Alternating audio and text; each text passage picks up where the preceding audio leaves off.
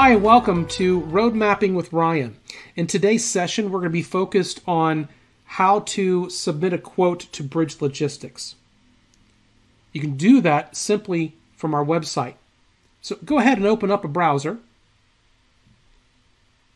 And at the top, start typing in www.bridgelogisticsinc.com. Again, that's www.bridgelogisticsinc.com.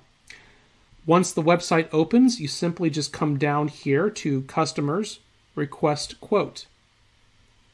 And all you have to do is fill out the information below. The more information you provide, the better. And any title that has an asterisk next to it, you must fill out and complete. Then come down and make sure you select I'm not a robot. And then click on Request a Quote. It's that simple and I appreciate you for listening today. Have a great one.